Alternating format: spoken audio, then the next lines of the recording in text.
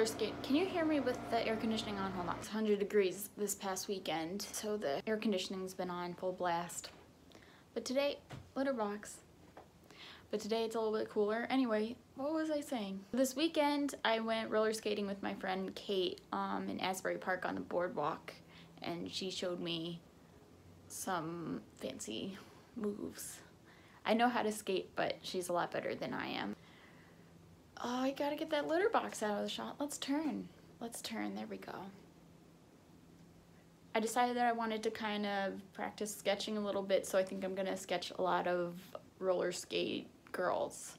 Roller skating girls, girls who roller skate. People who roller skate. People. Humans. Humans who roller skate. All right.